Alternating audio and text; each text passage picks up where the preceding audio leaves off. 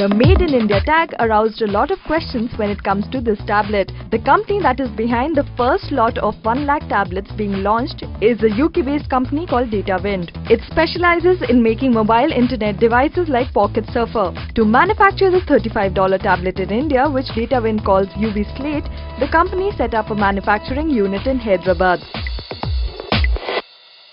Now that you know how this has come about, how was it made? Yes, another exclusive with us right now, the CEO of Datawind with me. Uh, when we talk about this as a manufactured price and whatever has gone into this, is it all you're doing? I mean, there's, there's a little bit of confusion as to are they getting you the components and you're putting them together?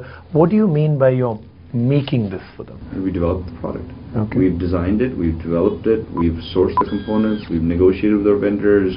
Uh, they've provided quality input, uh, uh, ongoing uh, performance expectations, uh, very extensive levels of testing, uh, broad levels of testing, that kind of support. Okay. But the design development of the product is by Datawind. Okay. Is this a made in India product? This is a made in India product. Okay. How, how is that defined? I mean, is this a loose term that we're using? Look, we're all very proud about the fact that it has a sticker called Made in India. Is this a made in India product? It, it is made in India. Mm -hmm. How products are made today is that they require many, many components. This is not a chair that has wood and some leather. Uh, this has literally 800 components. Mm -hmm. It has a whole variety of chips and plastics and cabling and screens and touch panels and so on and so on. They're sourced from all over the world. The biggest components, the most expensive components, in fact, uh, the screen comes from South Korea. Okay. okay? Um, the microprocessor comes from the U.S. Uh, there are components from all over the world, mm -hmm. uh, including India, including China. Okay. Uh, if I break that up, it is South Korea about 39, 40%, that kind of range. Okay. China around 24. India 16%, US 16%, the okay. rest miscellaneous. Okay. Then all the components come into the factory. The factory makes the boards. Okay. okay. The boards are actually made there. Then they're populated there, they're wave soldered there, they're tested there, and then they're assembled there. Mm -hmm. Okay. Made in India uh, isn't just screwdriver technology today. Okay. Made in India means making the boards. If you think of how Apple makes iPads, mm -hmm. those components come from all over the place. Right. Foxconn, the manufacturer that makes it for Apple, then assembles it. Right. We assemble it in India. We make the boards in India.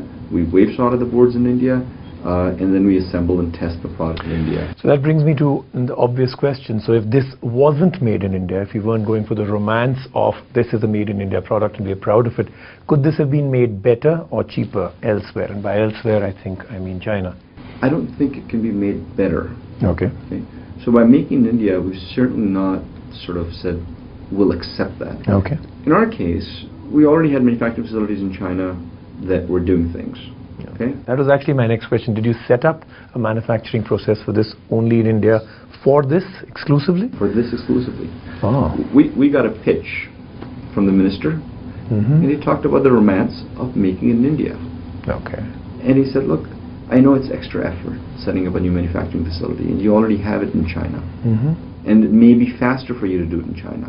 Mm -hmm. And if you do it in India, and you know we chose a, uh, a facility in Hyderabad, mm -hmm. and you don't have to deal with the Telangana strikes and those things and the rest of whatever else happens in China.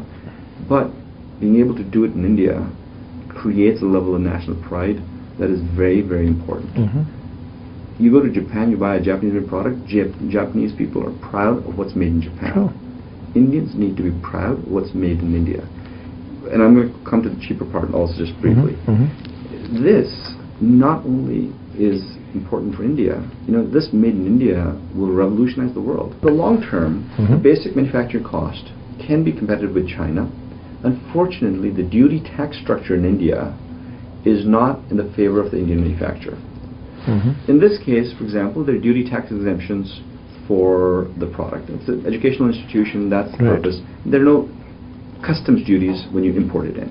Okay. But when you transfer it from state to state, there are interstate sales taxes. Right. So if I made it in China and brought it in, There that would burden of the sales point. taxes wouldn't be there. Mhm. But because we're making it in India, Mhm. there's that extra cost burden. Okay. Okay? Uh, it's still worthwhile making in India. At the same price, can you go for a, we've heard stories of a capacitive screen, 3G, a faster processor, double the battery life, maintaining the same price point in, say, the next six months? It can Okay. in volume. We certainly can deliver not only the quantity, but the price point. To get to a capacitive screen at the same price point, to get to Cortex-A 89 processors at the same point, at the same price point, to get to the modem requires that extra effort. Because Datawind's technology is based on the mobile internet and what we do, what we are announcing to you first exclusively, Mhm. which I will announce tomorrow at the launch event, Mhm.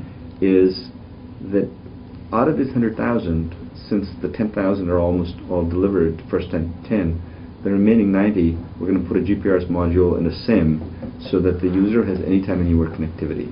All right. So mobile connectivity, free of charge, we will do it in there. Of interest to almost everybody is, of course, how did you achieve it? So uh, I know, know I might be stretching my luck by asking you to break it down component to component and price, but it would be interesting to know how did you do it when the rest of the world hasn't been able to do it? Well, it's a structural thing and how manufacturers work. Okay. The average manufacturer doesn't get down to the real component level. They buy modules. Okay. They buy a Wi-Fi module. Mhm. They buy a finished Right. LCD Oh, like, like they call a, a, phone on a, on a phone on a chip. Everything is kind of put together for them. System put it chip. together, right? They Mhm. get a bunch of those. So the number of components for them are maybe 50 components. Okay. In our case, the number of components are 800. We remove the margin for those things.